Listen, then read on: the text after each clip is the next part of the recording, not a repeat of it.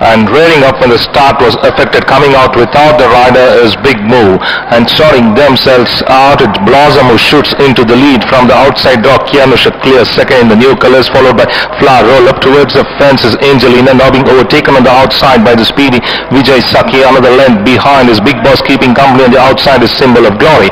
Another three to four lengths behind is Green Olive. Four lengths behind Rani and detached without the rider is Big Move as they start to negotiate the turn crossing the 600 blossom in the lead by about two to the good of flower roll up in pursuit as the turn in followed by taking the turn three deep is Kianush even more deeper out is uh, Vijay Saki close to the fence Angelina.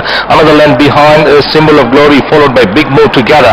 Five lengths behind comes uh, green olive. Inside the last 300 and blossom still kicking on. By about a length and a half in front of Vijay Saki hard at work to bridge the gap. Will he be able to do so as blossom still holding on? By a length and a half in front of Vijay Saki these two are pulled away, but Blossom still hanging on by about a length in front of uh, Vijay Saki. Hard at work to match strike, but she can't do it as Blossom robs home. It's Blossom to the wire by a length in front of uh, Vijay Saki. They followed then by Angelina.